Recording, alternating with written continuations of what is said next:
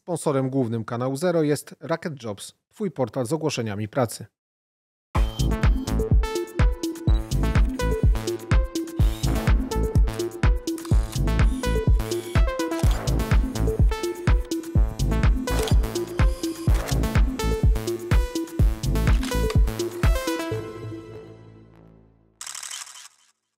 Krzysztofie, Tak. nie będzie dworca centralnego. Dlaczego? Poczekaj, najpierw ci powiem. Nie będzie go. Ludzie się będą musieli zatrzymywać na Powiślu, albo Warszawa Śródmieście, Albo w Łodzi. gdzieś- albo w Łodzi, albo w Żerardowie. No, po prostu jest w Warszawie Warszawa Centralna. A na Rosjan słowo centralny działa jak płachta na byka po prostu. Oni się od razu denerwują, chcą, Naprawdę? chcą bombardować. Tak. Ojej. Maciej Lasek powiedział, że nie można wybudować centralnego portu komunikacyjnego, bo jak się Ruscy dowiedzą, że on jest centralny, to Mhm. od razu po nim bombar- zbombardują wszystko. Okej. Czyli całe szczęście, że Okęcie nie ma nazwy centralnej. Nie, jakby miało, to po, nim- po, po nim. Rozumiem, e, ale to możemy pójść dalej w tej teorii. Mhm. E, ja w ogóle uważam, że dzisiaj mamy takie centralne miasto, centralną aglomerację, która kusi Rosjan. I ja Uważam. uważam, przesnyszu. ja uważam, że ludność Warszawy powinna zostać rozdzielona, rozdysponowana po całej Polsce. Powinniśmy odejść od tego, od dużych skupisk. Ale Łódź to no samo, Katowice to samo. A Wrocław? Nie. Równomiernie po Nie, całej Wrocław, Polsce. Wrocław byśmy akurat oszczędzili. Wrocław z innych względów musi zostać. E, Natomiast cała ludność równomiernie rozłożona po mapie Polski. Tak. Patrzymy na gęstość zaludnienia i po prostu wtedy Ruscy nie wiedzą, co robić. Ze Śląska Już mieli osób- plan gotowy uderzenia na Warszawę i Tak. wyobraź sobie naradę tam w sztabie, przychodzą, Przychodzi Szojgu i na I przykład mówi, mówi, hmm, nie ma Warszawy. no, towarzyści, Warszawy użynietto. A my jeszcze nie uderzyliśmy, a już jej nie ma. Tak. I co? Albo sukces i już pijemy, Mhm. albo nie wiem, jakiś inny plan. Tak. No więc y, pan Lasek y, ciekawą y, teorię mm, podał, ale on chyba nie jest ekspertem od obronności. Ale jest ekspertem od zmieniania zdania, bo jemu się udało, i to jest w ogóle jakiś fenomen, musisz przyznać, żeby w ciągu jednego dnia trzy razy zmienić zdanie. No bo zaczął rano od tego, że w ogóle to jest jakiś absurdalny pomysł ten cepek. No bo to się wszystko zaraz zbombarduje, w ogóle to jest bez sensu, no, za drogie, bez sensu. Później, Ja bym chciał takiego kierownika budowy mieć, jak buduje dom, że przychodzi i mówi, panie, to jest bez sensu, niech pan nie buduje tego domu. Ja mówię, ale proszę pana, ja pana zatrudniłem, żeby pan go wybudował. to pan mi zapłaci, a ja panu nie wybuduję. A on mówi, ja bym nie budował. I, I gadaj z takim, nie? No. Ale panie, oddaj pan forsę. Nie, nie, forsę wziąłem, ale Ja panu doradzam, nie Tak. buduj pan. No dobrze, w każdym razie, nie wiem jak tam twoje przeboje z y, budowlańcami, z Maciejem Laskiem było tak, że on później zmienił zdanie. I Platforma wypuściła taki filmik, w którym Maciej Lasek mówi, ale absolutnie, że zbudujemy CPK. No oczywiście to w ogóle nasz pomysł. Z ust mi to wyjęliście. Budujemy, na pewno powstanie. No i później stwierdzi, że Za mocno, bo jak nie zbudujemy. kurczę, nie, no ale wiesz, to tak głupio, tak za, za mocno, tak za bardzo zmienić zdanie tak od razu. Więc tamten filmik wyrzucili i wstawili nowy, w którym jest zbudujemy. No chyba, żebyśmy nie zbudowali. Ale generalnie raczej zbudujemy. Myślisz, że pan Lasek e, trzy razy w ciągu dnia zmienił zdanie, czy trzy od telefonu odebrał? Ja nie wiem, czy on... Dobra, nie, nie będę się naśmiewał z Macieja Laska, bo to jest rozrywka zbyt zdrowa i tania, więc już nie. Natomiast jest to rzeczywiście y, czat i total. Jak tam posłanki lewicy żądają, żeby budować CPK, Konfederacja żąda, żeby budować CPK. W zasadzie od Sasa, no właśnie nie to. Niedługo już tylko PiS nie będzie, będzie w opozycji i będzie mówił, żeby nie budować. Tak, Bo przecież oni- musi się czymś odróżnić. Tak, tak, tak. Będzie więc powstanie CPK imienia y, Macieja Laska i tyle. A propos e, tej całej debaty, bo wiesz, my nie mamy łatwo. My jesteśmy telewizją założoną przez Jarosława Kaczyńskiego. W moim przekonaniu to jest najprostsza droga do przywrócenia w Polsce praworządności. Kurka, a ja o niczym nie wiedziałem? Nie chciałem Ukrywałeś się- to przede mną. Nie chciałem ci tego mówić, no. Ja pierniczę. Ojej, Ja ale ty, wiedziałem, dlaczego tu się koty wszędzie kręcą. Ale zaraz, ale jak do tego doszedłeś? Bo tak od razu? wszedłem na Instagrama Kingi Rusin. No to ja wiem, że ty wiedzę czerpiesz z Instagrama. I okej. wyobraź sobie, że Kinga Rusin takie, z takim oczkiem puszczonym, że ona dobrze wie, napisała, że e, dziwnym trafem ten kanał powstał, po, zaczęły się nad nim prace po przegranych przez PiS wyborach 15 października. Macie. I to jest argument nie do zbicia, Nie, bo to faktem jest. że prace głównie były wtedy. Wprawdzie już koło września powiedzmy było jasne, że coś się zmieni w No przestrzeni nie, no, medialnej, przy- ale, ale, Przypomnę ci. ale ma rację. Przyznaj się. No przyznaję się, tak. no. Tak, Tak, było. Pani Kingo, tak było. Ja przyznaję, że ten kanał powstał po przegranych przez PiS wyborach. Mało tego, powstał też po, po bitwie pod Grunwaldem. E, Wiele wydarzeń było wcześniej, które doprowadziły do takiej, a nie innej sytuacji. Tak, nie tak od razu bezpośrednio, że ten Ulrich von Jungingen i od razu wyskakuje Ale Stanowski, po, a nie przed. Ale rzeczywiście po. I też gdyby na przykład Krzyżacy tę bitwę wygrali, to nie wiadomo, czy byś mówił po polsku. Oczywiście, że tak. Więc naprawdę to tak było. Wiele rzeczy się musiało wydarzyć, żebyśmy tu stali. Dzwon na przykład. Dzwon Zygmunt. Też ma związek z nami. E, tak. E, pani Kinga, e, generalnie bardzo ją e, pozdrawiam. Ona e, walczy o polską demokrację O ze wszystkich zakątków świata. E, Głównie mam wrażenie z Malediwów, ale dobrze. e, chyba aktualnie z Bali. E, A, no tak, tam klimat na Malediwach. to jest w ogóle niesamowite, ile siły ma ta kobieta, bo wyobraź sobie, że ona walczy o ekologię. Tak. Bardzo mocno o nią No. Ona między tymi wszystkimi wyspami, Wpław. te tysiące kilometrów Wpław. płynie po prostu. Absolutnie Bo wpław. ona nie jest trucicielką. No. Ona nie lata samolotami. No, Ona, te, to zdjęcie w helikopterze, co było, że sobie zdjęcia robiła. Każdy może teraz mieć zdjęcie dowolne, wiesz? To było AI. Sztuczna inteligencja. To było AI. Tak. Ona nie była w helikopterze. Tak naprawdę ona w tym czasie płynęła w pław między Malediwami a Bali. To jest kawałek drogi. Więc e, wspaniała taka syrena, można powiedzieć, morska. E, ja podziwiam, jak ona to wszystko ogarnia, bo taka na przykład Taylor Swift To co ona? lata samolotami. Kinga nie. nie. Kinga jest ekologiczna, nie jest trucicielką, w ogóle nie. Kinga jest tak ekologiczna, że niedługo będzie miała błonę pławną między palcami. Ojej! A E, Taylor Swift, Kaczyński ci musiał zapłacić za to zdanie. to prawda. Znaczy akurat za to zdanie zapłacił mi e, Marek Suski. No Okej. Dobrze, a Taylor Swift, ona nie jest jak Kinga. Ona naprawdę truje. I wyobraź sobie tak, To prawda, ona straszliwie truje. Co Nie. się odezwie, to truje. truje, bo, bo Kinga... Zostaw już ten Kingę, mów o Taylor. Dobrze, e, Taylor rocznie e, zatruwa środowisko, odpowiada za emisję 8 tysięcy ton dwutlenku węgla, Jezu, przestań, to więcej niż cała, całe stado krów w Indiach. a Polak przeciętny 8 ton, a ona 8 tysięcy ton. Czyli tyle, co tysiąc Czyli Polaków. tysiąc razy więcej. Bo ona na randki lata samolotem i na przykład ma takie loty z jednej strony miasta na drugą stronę miasta. niedużym- 13 minut leci.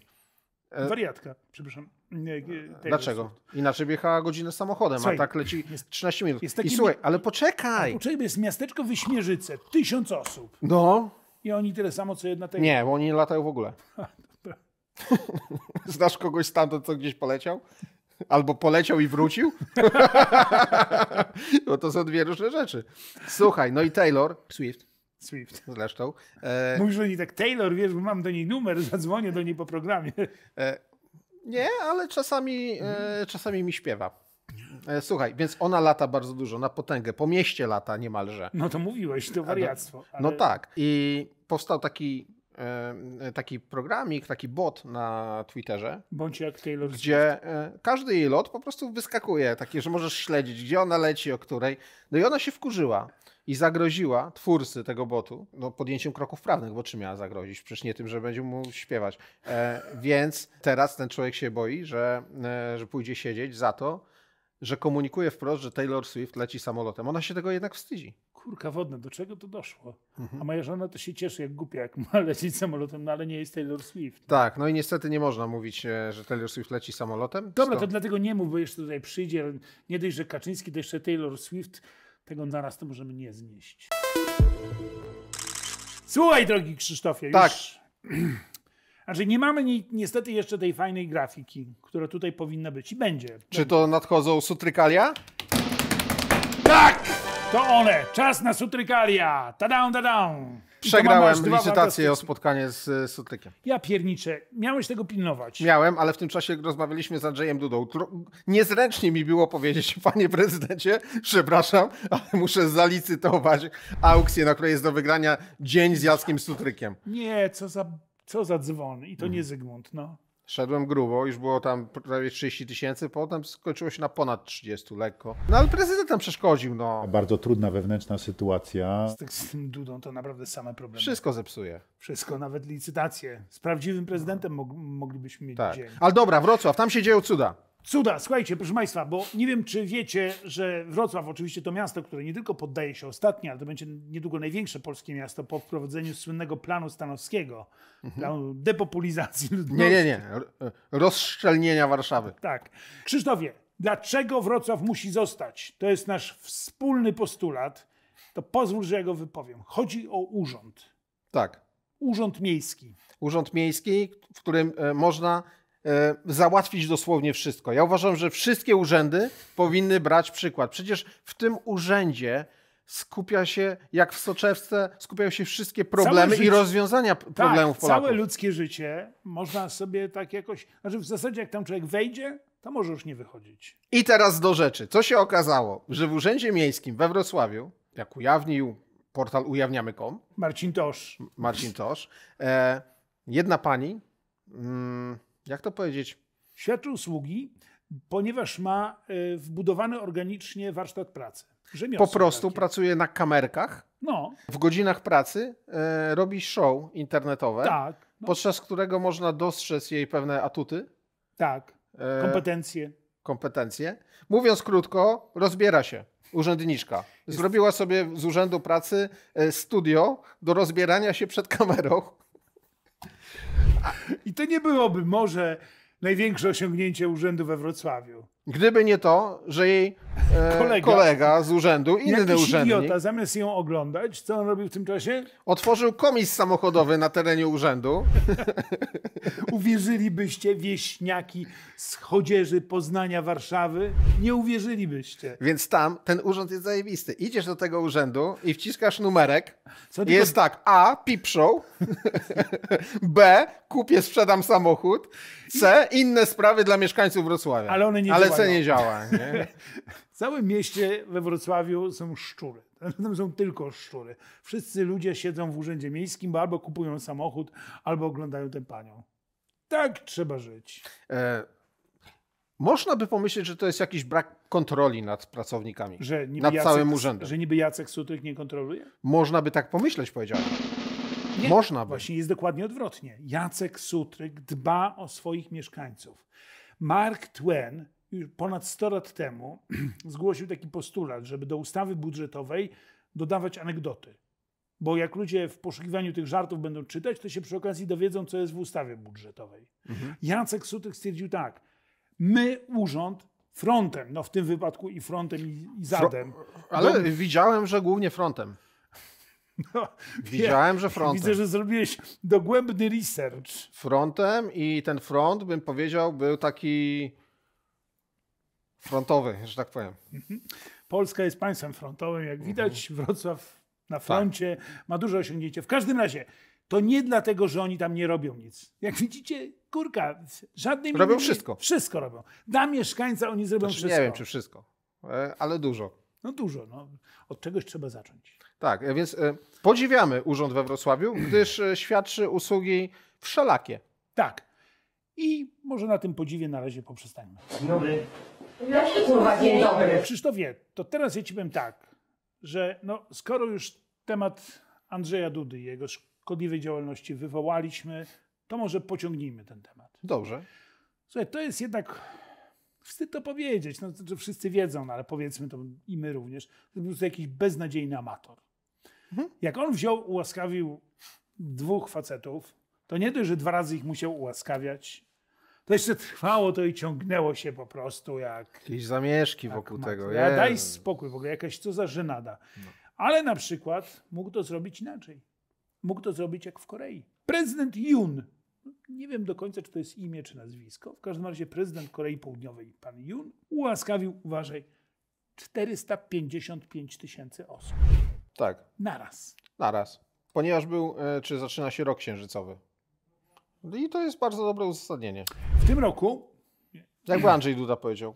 29 lutego, bo mamy rok przestępczy, to znaczy przestępny, albo urodziny mojego syna, no nieważne, w każdym razie każdy powód jest dobry, żeby się napić, yy, przepraszam, żeby ułaskawić, więc Andrzej Duda mówi 29 lutego Ułaskawiamy. na Pół narty, miliona osób. a później pół miliona. Ty, ale to, to tak, tak zupełnie serio, to ile, ile osób w tej Korei siedzi w więzieniu? To znaczy, czy oni ułaskawili wszystkich, czy nam, nagle się okaże, że tam 10%. no 10, to by 5 milionów tam siedzi w więzieniu? To jest duży kraj. No ale bez przesady, no nie aż tak duży. No. Pół miliona ułaskawić. Just like that? Bo może z przeludnienia, nie wiem. Nie wiem, cholera wie. No i w każdym razie ułaskawił pół miliona ludzi, w tym I- kilku swoich kolegów. No ale wiesz, no, Jezu, Jezu, trudno by było, żeby w takim e, dużym gronie, co miał dyskryminować swoich kolegów, No. że każdy zasługuje na ułaskawienie rok, jego koledzy, rok nie? księżycowy jest dla każdego. Tu masz księżyc, prawda, i on świeci i na ciebie, i na mnie, Tak. na państwa, A może oni po prostu rozwiązali więzienia? Tak bo instytucjonalnie. były centralne. Bali się ruskich. A nie, to, to pół miliona to jest naprawdę dobry wynik. I dlatego gratulujemy wszystkim Koreańczykom. Chcielibyśmy się jakoś pożegnać nawet po koreańsku, ale nie umiemy, więc opowiemy jeszcze o paru innych wydarzeniach. E, Ja w sumie umiałem kiedyś, ale dobra, nieważne. Robert, ty jesteś osobą, która bardziej siedzi w polityce. Chciałem cię zapytać o panią minister Zielińską. Jak- ja- Jaka jest twoja opinia? Jest to fantastyczna y, pani minister. Ona jest szefową Partii Zielonych. Poszła do Ministerstwa Klimatu, Ochrony Środowiska i wszystkiego najlepszego. Dobrze, ja uważam, Chciałbyś że... coś jeszcze wiedzieć? Nie, już nic. Już wszystko wiem. Jak powiedziałeś Partia Zielonych, to już wiem wszystko. Chciałem tylko powiedzieć, że mm, Polubiłeś. Uważam, że dźwięk, który zaraz zostanie wydany z tego komputera, powinien zostać z tym programem na zawsze jak sutrykalia. To powinien być dźwięk, który będzie nam towarzyszył i- ilekroć ktoś komuś będzie chciał zaprzeczyć. Proszę Państwa, przed Państwem premiera. Pani minister Urszula Zielińska. Nie, e, e, e, e, e, tego nie mówiłam. Nie, e, e, e, e, e, e, tego nie mówiłam. Wiesz, co jest tu najlepsze? Że mówiła. Że nie mówiła. Ja znam tę wypowiedź, nie mówiła. Leć dalej, leć dalej. Właśnie kłamie. Obejrzyjmy ją sobie. Jak ty łżesz po prostu. Jezu. Obejrzyjmy Co za- sobie fragment wywiadu z Radia Z. Uwaga. Patrzcie. Nie, e, e, e, e, e, tego nie mówiłam. Jak to? Nie, że musimy w przyjąć. sieci- Nie, w sieci mówiłam, że można jesteśmy w znaleźć pani sieci, można znaleźć tyle różnych bzdur. We absolutely need to embrace ambitious targets and we need to embrace the 90% reduction, emission reduction target. No ale jak to? Powiedziała to? Nie, powiedziała we need to absolutely embrace. Nie mówiła musimy przyjąć cele. Chodzi ci, że po angielsku powiedziała. To oczywiście. I to, a, a, skąd wiesz, co to w ogóle może znaczyć? Ja nie Od wiem. Kiedy ty znasz angielski? Od nigdy. No więc taki mądry się znalazł, bo mu podpisali. To w ogóle znaczy zupełnie coś innego. Chciałabym pozdrowić ciocię, powiedziała. Aha. Tak, tak, to przepraszam. Głupie ci teraz. Haha, wiedziałem. No głupio mi, bo ja nie wiem, co ona powiedziała. No właśnie. A jak ktoś mnie oszukał tymi napisami? Ha, widzisz. Pani minister, która mówi świetnie w każdym języku, Nie, e, e, e, e, e. Ja tak naprawdę wiem, co ona powiedziała. I ona powiedziała to, co potem mówi, że nie powiedziała. mylisz. Nie, e, e, e, e, e. E, To nie, e, Nie e, e. jak koń, Nie obrażaj pani. nie rży Ja jak... tylko naśladuję panią minister. Ale nieudolnie. Być może, ale jednak naśladuję panią minister. Słuchaj, jest to dla mnie rozkoszne, że Każdy ma takie rozkosze, na jakie zasłuży. Ty możesz jechać do Wrocławia, jak wolisz. Mhm. E, pani Zielińska jednego dnia coś mówi, drugiego dnia mówią, a pani to powiedziała, ona mówi nie, e, e, e, e. I koniec dyskusji. Nie, e, e, e, nie żadne, ale nie jakieś nie po prostu, tylko e, e, e, e, e, e, e, e. Nie kupiła ci ta historia za bardzo, Bardzo mnie kupiła. Ale mam lepszą. tak? Mam lepszą. Słuchajcie, bo mm, zaczęliśmy tutaj od tego, że no, są ludzie, to nie ludzie, to wilcy oczywiście, którzy zarzucają nowej koalicji, że ma takie, taką mimikrę ambicji, że nie chce budować tego CPK-u, że taki nasz kraj... Chcę przecież już. No już chce, no, nie, nie jest to do końca jasne. No w każdym razie Już jest jasne. nie przeszkadzaj mi. O jest, no dobra, no jak ty chcesz tutaj szerzyć, szerzyć kłamstwa, to No w wła- porządku, nie będę ci przeszkadzał. Nie, e, e, e, e, no. Właśnie chcę powiedzieć, Mów. że tak nie jest. Chcę zaprzeczyć tym ludziom, którzy tak mówią. No bo bądźmy szczerzy. Ja tutaj sam mówiłem, jak zapisu złapali bimbrownika na Podlasiu. Sam mówiłem, że to jest upadek polskiego bimbrownictwa. Złapali bimbrownika na Podlasiu, miał 500 litrów y, bimbru. 500 litrów. Wielka afera. 500 litrów. To Tyle nawet to- na dobre wesele nie Właśnie stać. chciałem powiedzieć, tyle to chłop na wesele se sam upędzi, wiesz? No. w garażu. Więc już jest lepiej. Już jest lepiej. To ledwo dwa miesiące tego rządu i już jest lepiej. W Czarnej Białostockiej bimbrownik ile miał? 3200 litrów. To już ładnie. To I- już palikot na to by zebrał z 2 miliardy. I on miał, uważaj to, w takich baniakach pięciolitrowych, Mhm. ten nasz y, czarny białostocki. To ile to baniaków kupił? 640 baniaków wyliczono. Słuchaj, 640 baniaków. Wyobraź sobie, wchodzisz tutaj do studia jutro, a tu niestety nie możemy nagrywać, bo wszystko w baniakach. Ponieważ Szymon wziął i napędził. No i dobrze, no i co? Ale, e, ale podziwiamy tego pana za Oczywiście. pracowitość? Podziwiamy. Podziwiamy i mówimy, że bardzo dobrze. To jest A wreszcie... to jest na użytek własny? Jak to, to jest się odróżnia jakoś? Oczywiście, że na użytek własny. To No jest zawsze właśnie. może mieć trochę marihuany na użytek własny. No i bimbru chyba też w takim No, razie. proszę cię. Kto wie, ile on pije? Spragniony był. A tak w ogóle chcemy o czymś poważniejszym powiedzieć? Tak. No to chciałem ci powiedzieć, że ten Sebastian Majczak, zwany Sebastianem M, to już nie siedzi w areszcie w Dubaju. A gdzie? Gdzieś sobie siedzi, a nie wiadomo gdzie. Może na plaży, może w pokoju hotelowym płacze w poduszkę, nieważne gdzie, ale nie w areszcie, nie za kratami. Top. Tutaj bym prosił piosenkę z pszczółki Majek. Gdzieś jest, lecz nie wiadomo gdzie. Gdzieś jest, lecz nie wiadomo gdzie. To jest ogromny sukces polskiego sądownictwa. Żeby co? Żeby wypuścić faceta Polskiej policji w. Dubaju? Zobacz, ile rzeczy musiało się wydarzyć, żeby to się tak potoczyło. Najpierw trzeba było nie powiązać wypadku z drugim wypadkiem. 100 metrów od siebie, dwa samochody, jeden płonie. Najpierw trzeba było uznać, że to po prostu przypadek. Okej. Później trzeba było e, tego człowieka wypuścić i nie zabrać mu paszportu ani niczego innego, po prostu wypuścić. Mhm. Potem trzeba było się spóźnić chyba w Turcji tam o tam dwie sekundy, żeby z zatrzymaniem go. Później trzeba było spierniczyć procedurę ekstradycyjną poprzez wypowiadanie jakichś rzeczy w Polsce, które sprawiły, że można uznać, że e, facet nie może liczyć na uczciwy proces. Mhm. No i na sam koniec mamy, czy- znaczy właśnie nie mamy, ale gdzieś jest sprawca koszmarnego zdarzenia, Pan gdzie spłę- spłonęła żywcem rodzina. To akurat jest mało śmieszne. To jest w ogóle nieśmieszne. I my nie jesteśmy w stanie nic z tym zrobić. Nie wiemy, czy kiedykolwiek będziemy w stanie coś z tym zrobić. Stary, no jakby ci tu powiedzieć? Oddziwia... Wypadek był pod łodzią, a facet jest w Dubaju. I co cię dziwi? Gdzie miał być? Wypadek miał być w Dubaju, a facet pod łodzią? Tak twoim zdaniem byłoby logiczniej? Już sam stwierdziłeś, to nie jest śmieszne. Nie. Nie, to właśnie chciałem powiedzieć coś serio, a ty zaczynasz się wygupić. Chciałem powiedzieć serio, że mało odkrywcze jest nasze stwierdzenie, bo to zmierza w tę stronę, że polskie państwo działa jak z dykty i kartonu. No stary, no jak można wypuścić takiego gościa po prostu za granicę od tak, jedź pan sobie. A wiesz, że za chwilę ludzie o tym zapomną. Tak, i właśnie się. pies z kulawą nogą nie będzie się interesował, a gdzie jest ten koleś, przez którego zginęły trzy osoby w samochodzie. No gdzieś jest, nie interesuj się i tyle. Tak. A potem się okaże, że prowadzi, jest, został Instagramerem na przykład, albo na TikToka prowadzi. To jest niestety bardzo prawdopodobne, bo świat spsiał. Słuchaj, Słucham. to teraz serio, choć nie brzmi to zupełnie serio, ale za to jest to bardzo powiązane. Otóż w Gorzowie ma powstać klasa penitencjarna. O, i do takiej klasy mógłby pan Sebastian chodzić. On moim zdaniem byłby obiektem tejże, zainteresowań tejże klasy. Pozwolisz, że oddaj, oddajmy głos pani Iwonie Trzaskowskiej, dyrektorce zespołu szkół technicznych i ogólnokształcących w Gorzowie. Zamysł jest taki, aby młodzi ludzie mogli zapoznać się z warunkami funkcjonowania nowoczesnego zakładu karnego, to jasne, z tajnikami oraz specyfiką pracy funkcjonariuszy, a także zobaczyć, na czym polega złożony przebieg resocjalizacji. No i właśnie dokładnie z tym powinien się zapoznawać Sebastian Majczak. A tymczasem będą się zapoznawać dzieciaki z liceum, technikum, czegoś tam. Czyli, ale przyuczamy je do tego, żeby były, byli po tej dobrej stronie krat. No, moim zdaniem przyuczamy je do tego, żeby poznali więzienie, a jaką wybiorą rolę, czy będą klawiszami, czy osadzonymi, to się może okazać. Czy będą grypsować? Grypsujesz czy idziesz do frajerów? Grypsuje? Co to znaczy? Jesteś gitem czy frajerem? Tutaj masz napisane, mają poznać złożony przebieg resocjalizacji, czyli grypsowanie, czyli tam, wiesz, kontaktowanie się przez światło. No ja nie wiem, jakie tam są teraz nowoczesne techniki resocjalizacji osadzonych. To co, świeżak? Sparring wieczorem.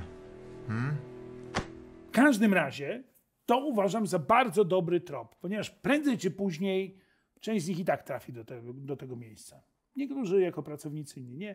Niech się z czym skorupka za młodu nasiąknie, naprawdę. Jakie y, w ogóle spotkanie po latach klasowe, nie? O, Rafał, aleś wyrósł. Tak.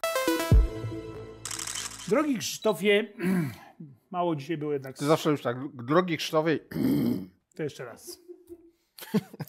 Drogi Krzysztofie, w każdym razie chciałem Ci tylko powiedzieć, i w związku z tym to mówię, że mało było tematów międzynarodowych w naszym programie i w ogóle rzadko zajmujemy się sztuką. tak, Tak, a teraz się zajmiemy. Otóż, jak wiadomo, w Paryżu jest muzeum. W tym muzeum, dużo chyba jest muzeów. Inne są nieważne. Jest jedno muzeum, Louvre.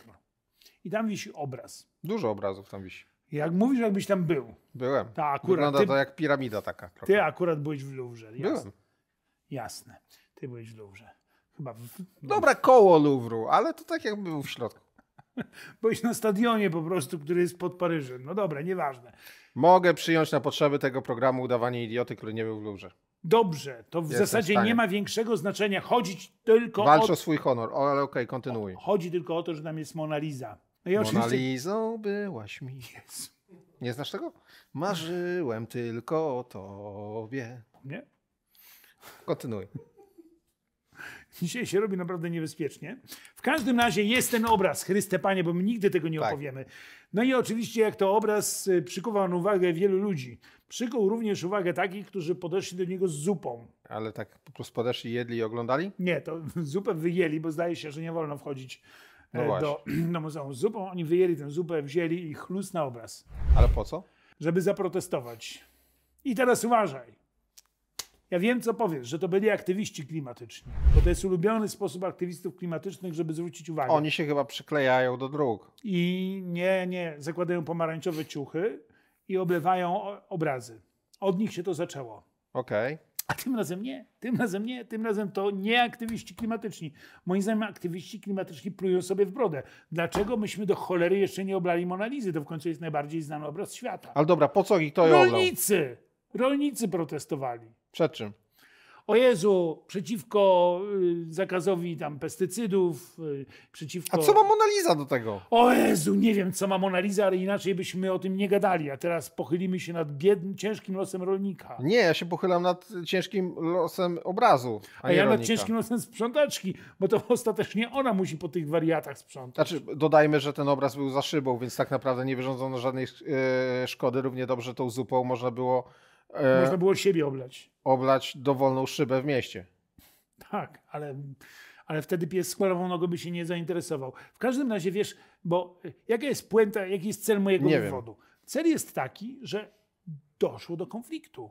Tu klimatyczni, którzy zawsze tam są, teraz rolnicy. Znaczy, mam wrażenie, że teraz będą takie listy kolejkowe przed ważniejszymi obrazami. Może teraz się nagle okaże, że nie będzie w ogóle wolnych biletów do muzeum, Właśnie bo każdy, kto strajkuje, idzie do muzeum coś oblać. Tak, słuchaj, I zamiast palić opony, ale to by było dobre, zamiast palić opony, i zwiększać zanieczyszczenie. Kinga tego nie robi, pamiętaj, Nie, nie. zamiast palić opony, Wpław. zamiast palić opony, idźcie do muzeum. Tak, oblejcie sobie coś. Tylko sprawdźcie, czy jest za szybą na litość boską. No, No, ale- Jeszcze zniszczycie jakiś obraz. Teraz przecież e, czeka nas wielki, e, gdy nagrywamy to, to czeka nas wielki strajk e, rolników. Tak. Jakby poszli do Muzeum Narodowego No, strajkować Mhm. z zupą, pod bitwę pod Grunwaldem, to łatwo trafić, bo to duży ale obraz. nawet korków by nie było. Wszyscy by poszli do tego muzeum do środka. Przecież to jest genialny sposób. Muzeum zarobiło na biletach. Tak, Warszawiacy nie stoją w korkach. tak. Wszystko trzeba się- posprzątać, no, ale mniej sprzątania niż na ulicach. Daj spokój. Ciężarówką nie wiedziesz, gnoju nie zrzucisz. Chociaż tam cholera. No idealnie. A je, jednocześnie, jak wejdziesz do takiego muzeum, no i tak zaczynasz się zachowywać trochę inaczej. Tak? Te, oto, to otoczenie sprawia, To- że tak już nie jesteś to- taki To hardy. dzikusy były. Już bez megafonu, już A, no to- wiesz. Tak. Cii, bo tu inni oglądają. Prosimy do sali numer dwa i tam, Tam tam jeszcze jest nieoblane sześć obrazów. Powoli przesuwamy się w tamtą stronę.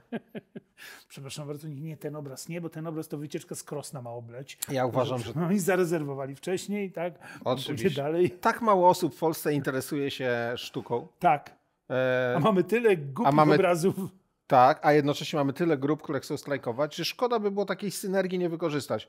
E, szedłem w to. Tak. Minister kultury powinien spotkać się z ministrem rolnictwa, Mhm. e, z komendantem policji i to wszystko powinno być odgórnie przygotowane. Oblewamy obrazy, gdzie, o której, il, za ile, po ile są bilety. Ja bym w ogóle zrobił tak, że ty y, y, dałbym na przykład więcej rolnikom kasy, Mhm. ale z, z biletów za wejście do muzeów. Jakby to by było samo napędzające się. To znaczy, tak, można by nawet nie dawać im kasy, tylko od razu bilety darmowe. Albo tak. Po prostu. Zap- Zapłacimy ci za mleko, ale w biletach. Oczywiście. No. Także, proszę Państwa, jakbyście byli rolnikami, to zapraszamy do Warszawy, do Muzeum Narodowego. Tylko pamiętajcie, lista kolejkowa najpierw. Jeśli coś was wkurza, idźcie do muzeum. Tak. E, nie Wkurzyła cię żona, nie krzycz na nią. Nie denerwuj się. Irytują cię dzieci, nie rób im krzywdy. Idź do muzeum. Jezu, jakie krzywdy dzieciom. No, ludzie na przykład krzyczą na te dzieci, każą im się uczyć. Idźcie do muzeum, z dziećmi w ogóle najlepiej. Do, do widzenia. Niech się dzieci uczą od maleńkości. Dobranoc.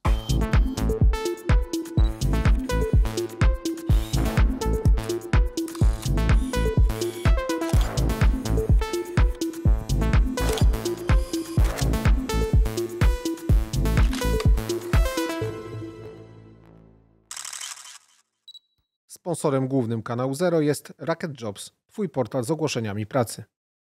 I teraz daj samo nie e, e, e, dobrze? Nie, nie, wywiad. Nie, poczekaj. Najpierw samo nie e, e. I teraz ja spytam, ale skąd to wyciąłeś? Nie, nie, nie, wywiad Krzysztof, dajmy. please. Nie. Nie, e, e, e, e,